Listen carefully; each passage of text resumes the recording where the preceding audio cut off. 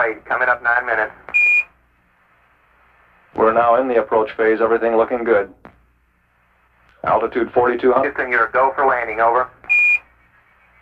40 feet down, two and a half. Picking up some dust.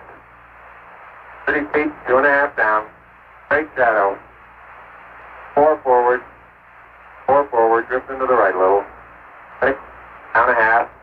30 seconds. Forward. Just. Uh, good. Okay.